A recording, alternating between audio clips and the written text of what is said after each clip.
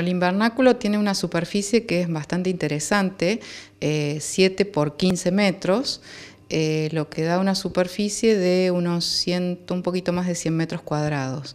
Em, y es un invernáculo que responde a, características técnicas de, cualquier invernáculo de producción.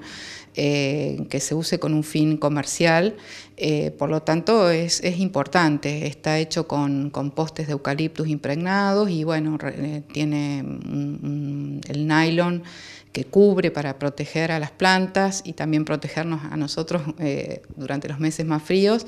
Eh, es un nylon de 150 micrones eh, y, también va a tener una malla antigranizo un poco para cubrirnos de las, de las cuestiones, de las inclemencias climáticas que acá azotan a, esta zona, Río Cuarto, fundamentalmente de, las pedreas.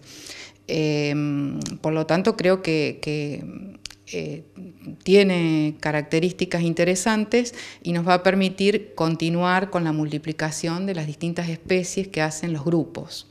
Eh, por lo tanto, creemos que el invernáculo va, a responder bien a, las necesidades del taller.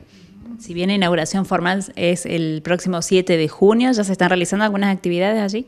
Sí, por supuesto, estamos acomodando un poco el vivero y acomodando, eh, digamos, haciendo eh, los últimos ajustes en el invernadero porque todavía nos faltan detalles, pero como dijo la profesora Susana Viale, ya se puede estar utilizando.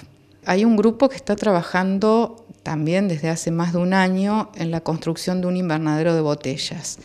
Eh, son botellas eh, reutilizadas, botellas de gaseosas, de soda, botellas de, plástico, y que en realidad también ha llevado mucho tiempo porque, bueno, es una, una forma de construcción eh, que lleva mucha mano de obra y demanda mucha cantidad de botellas.